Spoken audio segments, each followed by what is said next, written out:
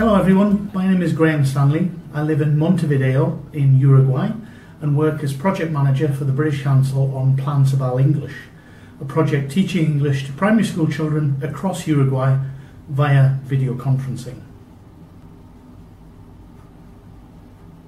I'm an educator who's always been very interested in applying learning technologies to the language classroom. We do, however, have to be very careful not to use technology for technology's sake. Just because you have access to technology and can use something in the classroom, it does not mean that you should. It must always serve the learning aims and objectives. I'll be speaking about applying technology to help practice the skills of reading, writing, listening, and speaking. I hope to show participants how best to apply technology to these areas of language learning and give them some practical ideas for the classroom too. I'm also particularly interested in using video games in the language classroom.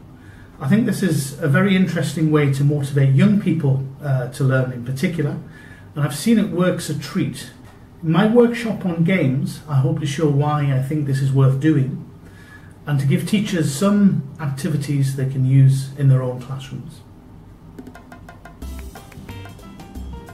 In my spare time, I enjoy listening to live music and I also love eating out and cooking.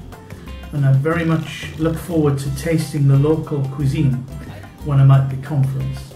And if possible, it would be fabulous to listen to some local live music. The thing I love most about my job is the contact I have with other people from other cultures. I love collaborating with them and being able to help be part of an educational solution to a problem.